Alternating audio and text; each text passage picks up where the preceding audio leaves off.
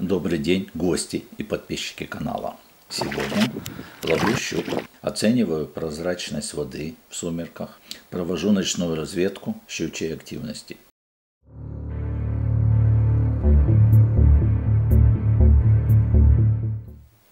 Одиннадцатое марта.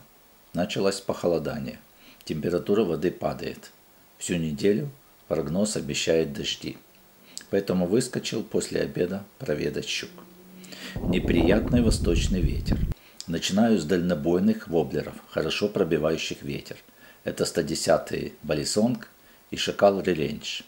Реренч яростно атакует щука. Делает две свечки.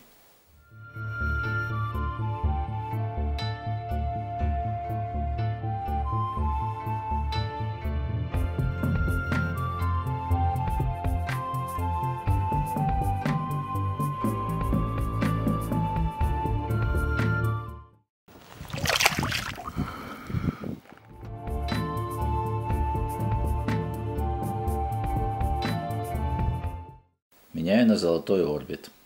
Поклевка щуки под двушку. Несколько свечек и сход. Через несколько забросов поклевка снова на орбит в цвете золота. Хорошенькая.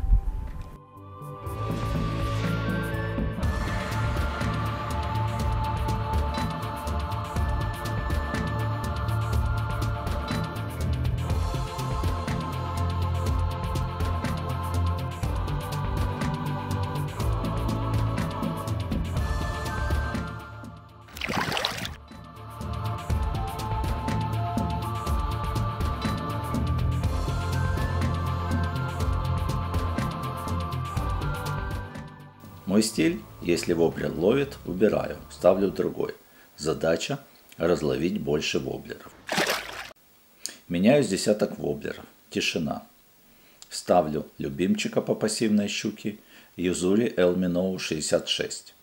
Воблер тонущий, проводка рывок пауза пару секунд, на которой воблер аппетитно сыпется. Через несколько забросов вытягиваю щучку в месте, где полчаса полосал с десяток воблеров. Пополам...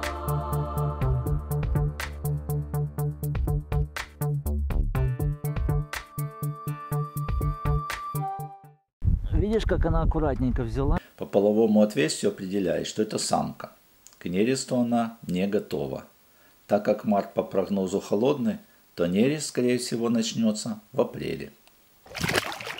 Перехожу на инквизитор цвете пайк. Мать Тайгер принципиально не ставлю, потому что на него ловят все.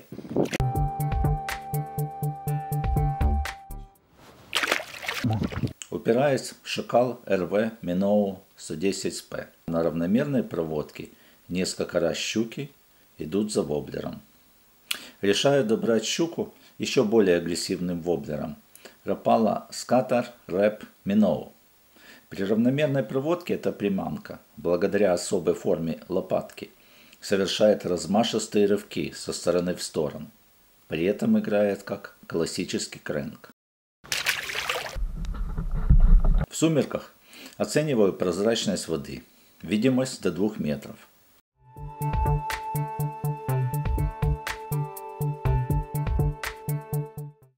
Неделю назад прозрак составлял всего метр. Тогда мы с Виталием провели ночную разведку щучьих мест. Видели?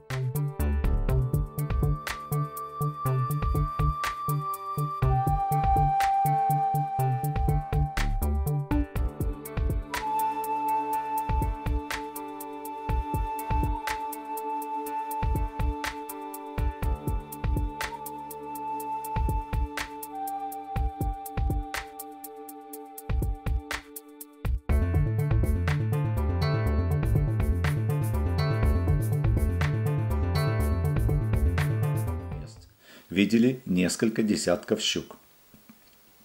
Большинство на дне в камышах.